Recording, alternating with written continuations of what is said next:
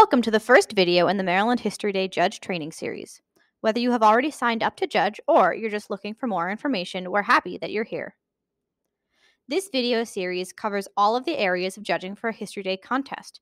New judges should watch videos 1 to 4, while returning judges can skip those and head straight to video 5.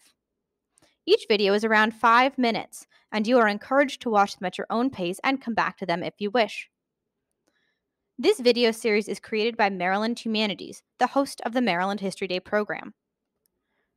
This training is required for Maryland judges. However, any History Day fan is welcome to participate. We keep written details about this year's contest, judge deadlines, contact information, and more resources at our site, marylandhistoryday.org. Navigate to the tab that reads For Judges and Other Volunteers.